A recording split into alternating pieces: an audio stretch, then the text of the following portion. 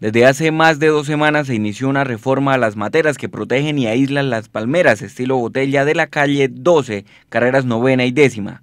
Las obras marchan a paso lento, pero lo que faltaba, en la primera a la que le han hecho un trabajo en un 50%, la están convirtiendo en una cesta de basura. Aquí al parecer falta solo la tierra y ya, pero ¿qué conciencia ciudadana hay con este comportamiento?